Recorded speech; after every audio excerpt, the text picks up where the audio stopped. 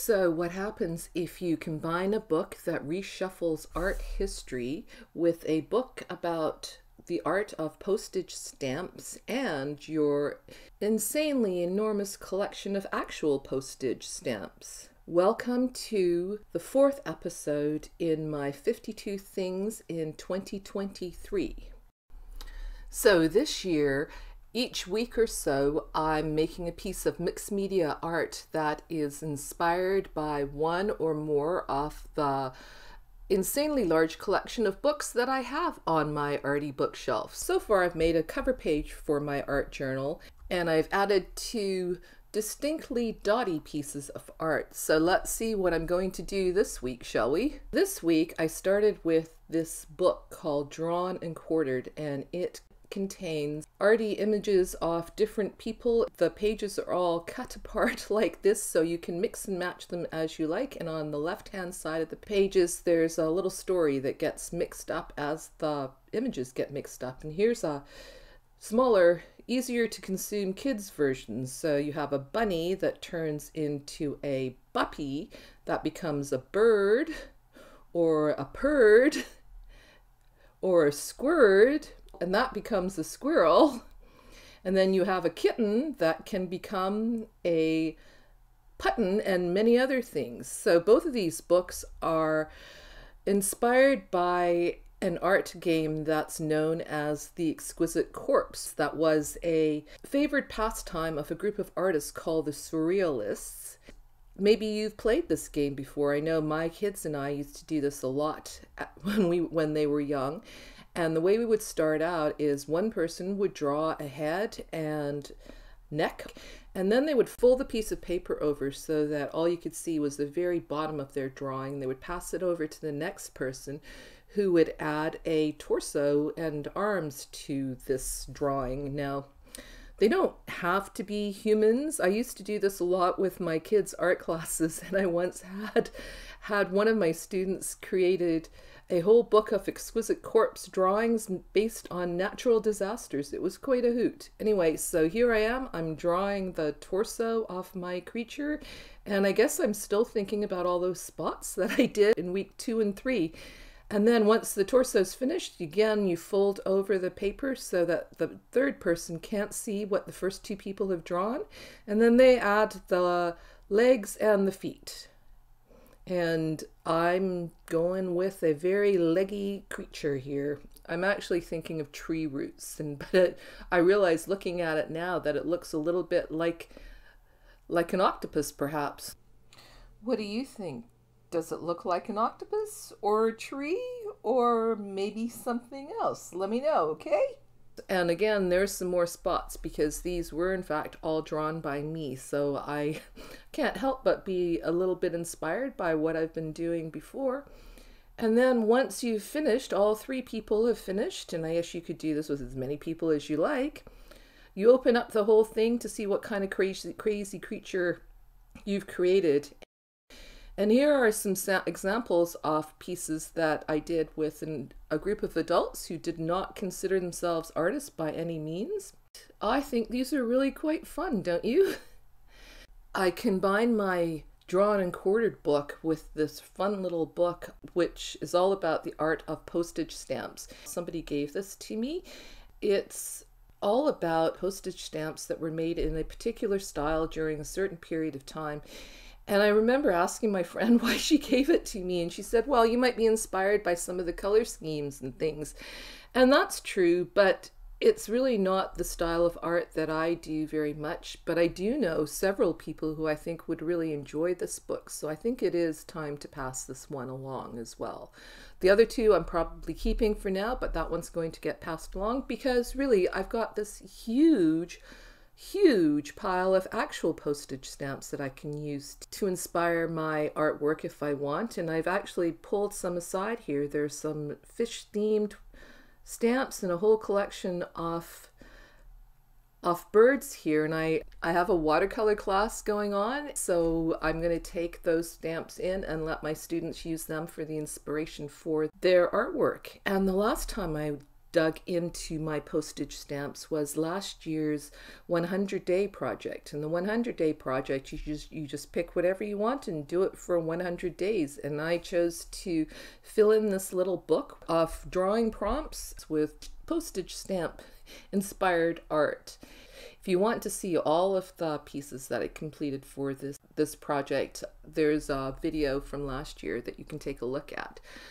Now that book off the with the postage stamps made me think of this book that somebody gave me as well. Now this is some sort of marketing catalog for graphic designers and the illustrations in that other book made me think of this and I think I'm going to use that in my project today and I'm not going to do the exquisite corpse that are cut off at the waist and that make a mix and match book. I'm going to do something similar to what I did in this little booklet here where I cut apart images from magazines and created these characters. And in this case, I was inspired by this bright yellow paper that you've probably noticed me using quite a bit. I get it from a friend of mine. I have a connection and it's waste from the place that she works and I have boxes of it. I've gone through my book of graphic illustrations and I've pulled out some pages with images of people with arms and legs because I'm going to be using my postage stamps for the faces. Now let's see if I can find any good matches for some of these stamps. I'm going to start out with these puppies and kittens.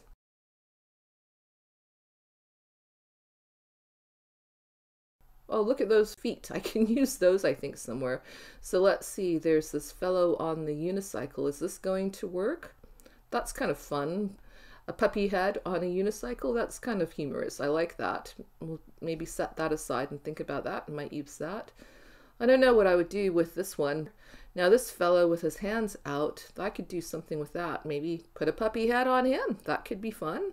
Let's see. We'll set him aside too and think about that perhaps. I love this little girl with the twirling skirts. Let's see what kind of head we could put on her. Oh, what about this lion head? The colors kind of match. I, I think a lot of times the things that inspire me are the size that they kind of relate together, but also the colors. I love these little crowns. I don't know if I'm going to use the kitten and the dog. Oh, this piece. I love this piece. So much fun. And there are those little stamps with the heads of state from different places that I think those could be really fun. Let's see if I can find one that's going looking in the other direction. It's harder to find stamps that look towards the right. But that one, Thomas Jefferson and some head of state from the Netherlands, that could be fun too with their hands tied together. Like this this person here with the little schoolgirl skirt and this. Love the colors in this person using doing yoga and that pot there. I could see using that perhaps as a torso somewhere. Oh this one. This is cute. The little girl with the teeny tiny teacup and the bird. And then there's this woman here this other person here pouring the tea out that could be fun together like those little fairies and these big hands oh i found a few of those they could be fun too sort of holding on to a stamp. I think I could do something with those. So let's see, horse's head. I don't know. We'll see. We'll see how I use end up using them. Maybe with that hand. Don't know. We'll see. So I've gone ahead and cut out some of the the images that I found and I've pulled out some of my heads, found a whole bunch of Frida Kahlo heads and let's see, I'm starting to arrange some of the limbs, the arms and the legs. I like that crown on Frida there, and then the bigger crown could maybe go on this bobblehead. Don't know yet. I'm just sort of playing around, seeing what works. So the interesting thing about Frida Kahlo, apparently she was a big fan of the Exquisite Corpse game that I showed you. So it's kind of seems fitting. Good coincidence that I have all these Frida stamps. And I've got that one there of Andy Warhol off on the side. And I think that also has a connection as well because he's well known for creating artwork that features a similar image used in several different ways, like the Campbell soup cans Marilyn Monroe's had, or this one that I saw at the Louisiana Museum of Modern Art that I mentioned in my last 52 Things video. One of the things that you don't really realize about his paintings until you see them in person is the scale, how huge they are. This one fills the entire room kind of liking this cage on Frida's head, it seems to go with her whole story about being in an accident and having a lot of physical limitations. So I feel like the cage as body seems really appropriate there. So I'm going to just temporarily stick those two bits together with the glue stick so that things don't go missing. And then I'm going to see if I can find some other limbs for this Frida head. Let's see, what am I going to, what am I going to use? I've got all kinds of things sitting there. Oh, the, these fun arms. I really enjoy these arms.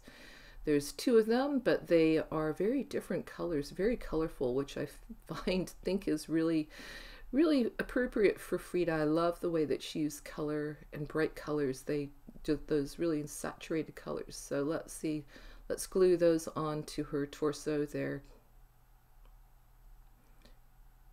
This is working out really well. I don't really worry too terribly much about the scale, as long as they just generally seem to fit together. I noticed in that Drawn and Quartered book, they hadn't really taken the time to kind of blend the images together, so there were sort of abrupt starts and finishes. The skirt, that little schoolgirl girl skirt with the with the band-aid on the knee i think i think that fits frida's story as well. Let's let's put that on on the bottom there. Kind of ends kind of abruptly on one side but i'll see if i can do something about that later on. Maybe i don't know maybe draw something on there. We'll see. We'll see what what i decide to do. But for now i like the way this looks. It fits really nicely. It fits on my page. I'm thinking about using this grid paper as a background here now let's move on to another my Frida stamps and find find some body bits to go with that. The ballet dancer legs. That's fun, right? Frida Frida and her imagination full of movement. And look at this. Look at the colors together. I told you I'm inspired by color. Those fit so perfectly together and the theme seems it's really fitting here. I think this person is stirring a pot of maize or corn there. And let's see how Frida's head fits. Oh, look at that. That is just perfect. The colors, the the lines, everything that just works so well together. I really like those two. Oh, what did I find? The tail, the foxy tail. I think that that would make a cute addition to that that first piece there and kind of distract your attention from that abrupt straight line there on that side of the legs there. I like that. That works for me. Now one more, one more Frida. What am I going to do with her? Let's see what I can find. These, the legs with the high heel skirt and Mr. Muscle Man here, those colors. Again, I'm inspired by way, the way that the colors, but the sizes also really fit well. That could be a possibility, but let's have a look. I've got these this little cartoon cheetah legs. Let's see if I can find something to put on top. Oh, got distracted. The hiking legs with the kind of zen, blissful upper body. That could be fun. I think maybe that'll work. And who do I have here? Martin Luther King? That's not who I meant to put there. Let's find Frida. There you go. Frida with the zen upper body and the hiking legs and the little flowers. The flowers seem very Frida, don't they? That's a possibility. I think I'm going to, I think there's my four, my four Fridas. Well, maybe not. Change my mind about that one. What am I going to do? Let's look for something. Oh, yes, yes, yes, yes. The all, the business suit, all business, business Frida. What am I going to give her for legs there? Let's see. Oh, now I've abandoned Frida.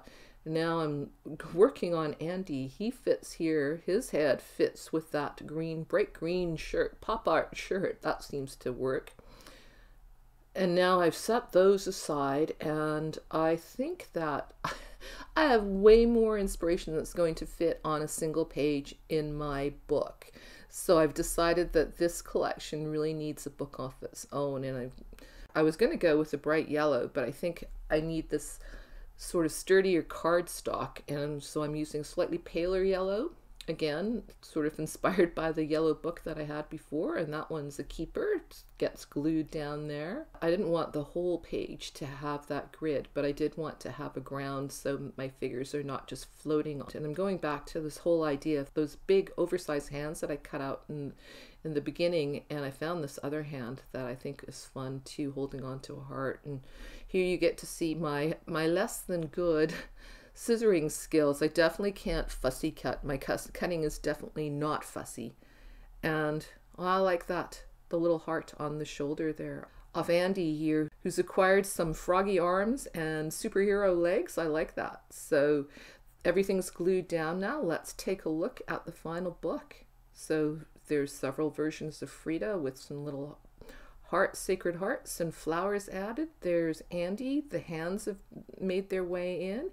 And I like that last one, the business suit, all business on the top and the crazy skirt below.